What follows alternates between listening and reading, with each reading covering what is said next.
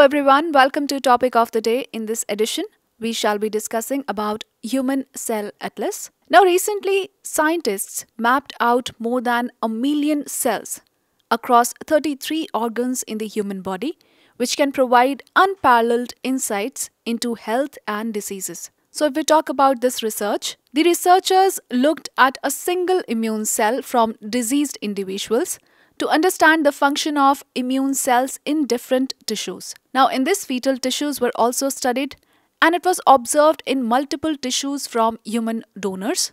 The researchers hence named it the Tabula Sapiens Cell Atlas.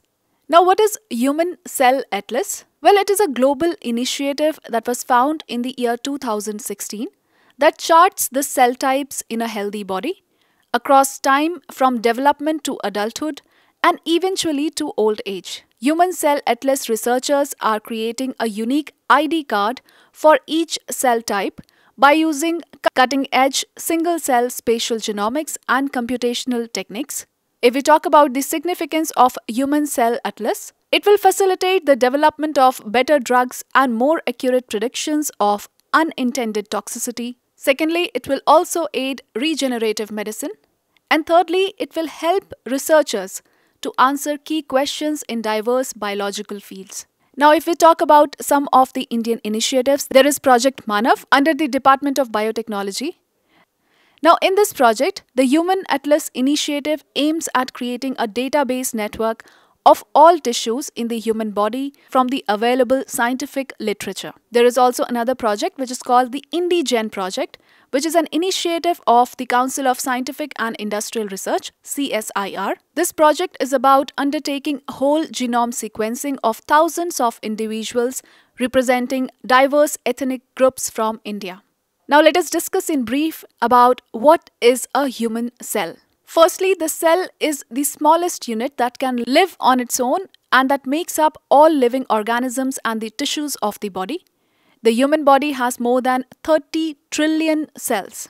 Now, a cell has three main parts. First is the cell membrane. It surrounds the cell and controls the substances that go into and out of the cell.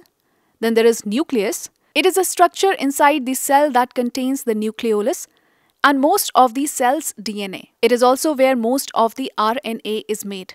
Then we have the third that is the cytoplasm. Cytoplasm is the fluid inside the cell. It contains other tiny cell parts that have specific functions including the Golgi complex or the Golgi body, the mitochondria and the endoplasmic reticulum. Now let us take up a practice question on this topic. You can visit the question on your screen which shows three pairs and you have to tell which of them are correctly matched. You can write your answers in the comment section below.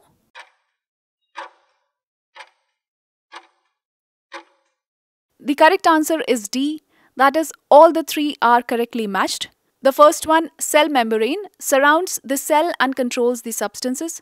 Second is nucleus that contains the nucleolus.